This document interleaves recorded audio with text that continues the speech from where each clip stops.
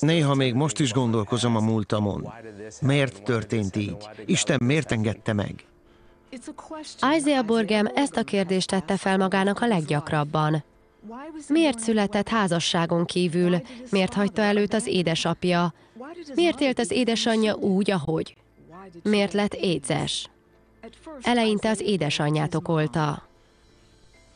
Miért tette ezt velem? Hogy lehetett ilyen önző? Most semmim sincs. Dühös voltam az anyámra, hogy lefeküdt idegenekkel, és végül éces lett. Isaiah csak 7 éves volt, amikor édesanyja écben meghalt. Testvéreivel együtt a nagymamához kerültek, de a helyzet csak romlott. A nagymamának volt egy élettárs, aki gyakran részeg volt, és a dühét a gyerekeken töltötte ki. Isaiah nagymamáját is hibáztatta. Miért engedte, hogy ezen menjünk keresztül? Miért tett ki minket ennek? Legidősebb gyerekként magára vállalta, hogy testvéreiről gondoskodjon. Megpróbálta őket megvédeni, de nem tudta. Ezután következett a végső miért. Megtudta, hogy négy éves huga is éces. A szívem mélyén sejtettem, hogy nem lesz mindig velünk. Igyekeztem minél többet vele lenni, hogy legyenek közös emlékeink. Talán ezért is rázott meg nagyon a halála. Jászmin édesanyja méhében kapta el az AIDS betegséget. Isaiah egy évig látta őt szenvedni, mielőtt közel az ötödik szülinapjához meghalt. A halála előtti éjszakán azt mondta, hogy angyalok jönnek, hogy Jézushoz vigyék. Isaiah és öccse számára semmi nem változott egészen addig, amíg a nagymama ki nem rúgta élettársát, de a kár már megtörtént. Tinédzserként depresszióval és öngyilkos gondolatokkal küzdött. Most már mindenért Istent hibáztatta. Dühös voltam az egész világra, és Istenre, és ki is mutattam, amit legbelül éreztem. Középiskolában sokszor bajba került verekedés miatt, és bomlasztóan viselkedett az osztályban. Néhányszor felfüggesztették, és épp hogy csak le tudott érettségizni. A figyelmét teljesen lekötötték a lányok és az alkohol, ennek meg is lett a következménye. Ittas vezetés miatt elvették jogosítványát. Fél évvel később ismét ittas vezetésért börtönbe csukták.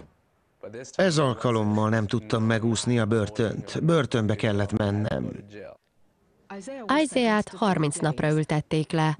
Volt ideje, hogy visszanézzen az életére, hogy honnan jön és merre tart.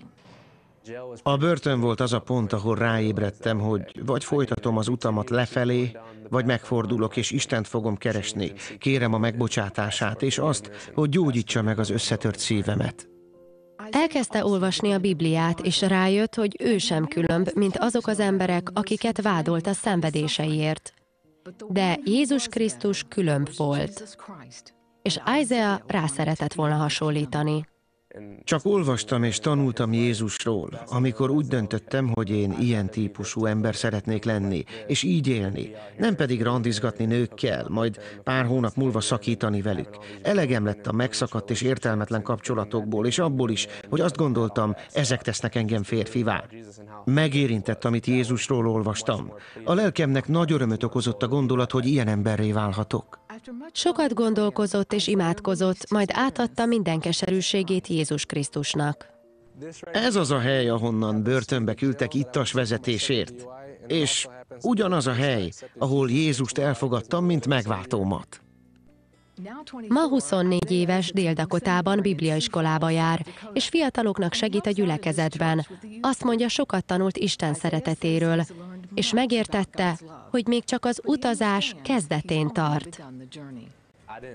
Egészen addig nem értettem meg, hogy Isten jó, amíg nem láttam, hogy beavatkozik az életembe a börtönben, és nem tapasztaltam meg a szabadítását, és azt, hogy kihozott a szenvedésekből. Felismertem, hogy Jézus szenvedett a kereszten, és meg is halt a bűneim miatt. És ha ő képes volt erre, azt gondolom, én is sok mindent el tudok viselni, ami közel visz hozzá.